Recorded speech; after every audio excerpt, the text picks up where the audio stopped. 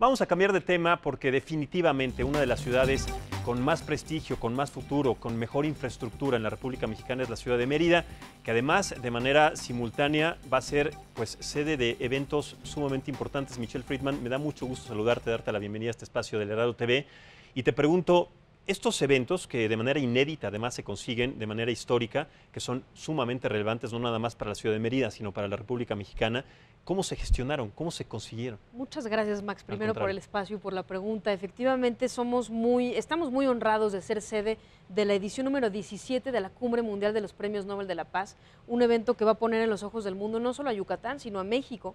Es la segunda ocasión que este importante evento se lleva a cabo en Latinoamérica. La vez pasada se llevó a cabo en Bogotá, Colombia. Y pues bueno, estamos eh, en verdad muy honrados de que haya sido seleccionado Yucatán. Fue una competencia algo compleja, competimos con otros países como Corea, como Singapur, y pues uno de los, de los temas que pusimos sobre la mesa a la hora de concursar por ser la sede fue este, este ambiente de paz que se vive en Yucatán. Somos un referente de paz, somos un referente de buenas prácticas en un entorno en donde se tiene que dialogar sobre la paz. Entonces, poder recibir a estos laureados, al momento ya 26 confirmados, líderes de opinión, jefes de Estado que van a reunirse en nuestra capital, en Mérida, entre el 19 y el 22 de septiembre para dialogar sobre la construcción de paz, pues sin duda es algo que nos enriquece mucho. Y es sumamente congruente porque me parece que en una situación tan difícil en la que vemos una carencia de paz en la República Mexicana, contemplar a la ciudad de Mérida como eh, pues, la embajadora o el embajador sobre este planteamiento me parece indispensable y tomando en cuenta que los premios Nobel de la Paz pues, son los premios en donde se, se, se puede contar o se puede encontrar a una personalidad que tenga esta, esta llamada. ¿Qué piensan? ¿Qué piensan lograr? Eh, en Yucatán en materia sobre todo de, este sentido y sobre todo en materia cultural con, estos, con estos eventos? Nosotros buscamos dejar una huella. De hecho, el lema que construimos para esta edición de la Cumbre Mundial de, Premios Nobel de la Paz es Deja tu huella. Lo que queremos es que sea una cumbre incluyente, que no solamente se trate de dialogar temas entre 10, 15, 25 laureados, sino que realmente podamos permear a todos los niveles, jóvenes, niños, comunidades indígenas, y hacernos todos partícipes de esto que nos, que nos concierne a todos, A todos nos importa y, nos, involucra la construcción de paz. Todos podemos poner nuestra huella y nuestro granito de arena en hacer paz a través de la inclusión, de la aceptación, del respeto, de una serie de, actividades y en estos paneles se va a dialogar al respecto con laureados, con líderes de opinión, con comunicadores, con eh, deportistas reconocidos. Vamos, no solamente tenemos 26, laureados ya confirmados al momento, todavía pueden ser más, entre ellos Rigoberta Menchú, eh, el expresidente Santos, el expresidente Leich Valesa, por mencionar algunos, pero también tenemos líderes como Miguel Bosé, como Rafa Márquez, entre otros, que estarán dialogando desde sus trincheras sobre cómo aportamos a la construcción de paz. Sin lugar a dudas, Yucatán va a estar en los ojos del mundo, pero vamos a lograr dejar una huella de paz en cada uno de los que sigan la cumbre y además ser incluyentes, generar esta sensibilidad al respecto de lo que representa la paz en nuestro país y en diferentes latitudes del mundo. Te quiero preguntar lo siguiente, Michelle, en algún momento, y fue hace poco, eh, la organización de los premios Nobel de la Paz perdió cierta credibilidad por estos escándalos a los que se les fue señalado por diferentes situaciones. ¿Cómo vienen ahora? ¿Con qué postura vienen para, determinar este, si se le puede decir, este nuevo renacer de, los premios Nobel? Bueno, me parece que el secretario está en un momento sólido.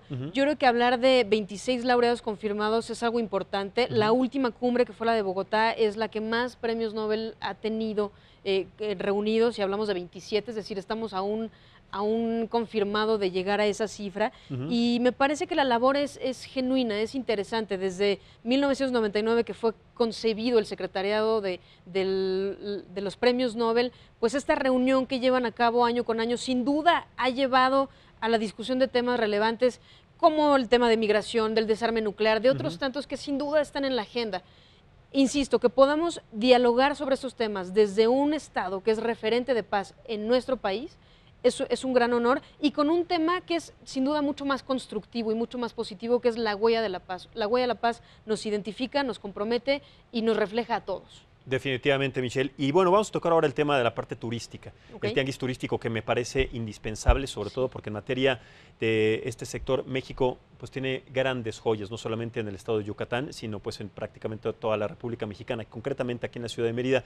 ¿Cómo piensan impulsar este tianguis turístico a partir de las bondades y de las riquezas que tiene la ciudad de Mérida? Sin lugar a dudas, Max, estamos muy felices porque estamos recibiendo grandes eventos que nos permiten mostrarnos no solo como un gran destino turístico, sino como un destino capaz de albergar grandes eventos. Uno es la Cumbre Mundial de los Premios Nobel, ya hablamos de ella, pero el otro es el gran evento turístico de nuestro país, que es el Tianguis Turístico, en su edición 45, que se va a llevar a cabo el próximo mes de marzo en nuestra capital, para lo cual además ya estamos ampliando el recinto del siglo XXI, lo cual nos va a colocar en una, en, una lista de únicamente siete ciudades capaces de recibir en México eventos de esta magnitud. Y estamos felices porque vamos a poder hacer gala y mostrar de la maravilla que hay en Yucatán, la cultura maya, la gastronomía, eh, los sitios arqueológicos, las playas, el avistamiento de especies como los flamingos, las haciendas, los cenotes, los pueblos mágicos, las ciudades coloniales. Tenemos tanto que, que enseñar que el tenis turístico sabemos es la mejor vitrina para enseñar lo que tiene Yucatán que ofrecer. Definitivamente lo dijiste bien, es la mejor vitrina, es una oportunidad única, es una oportunidad que además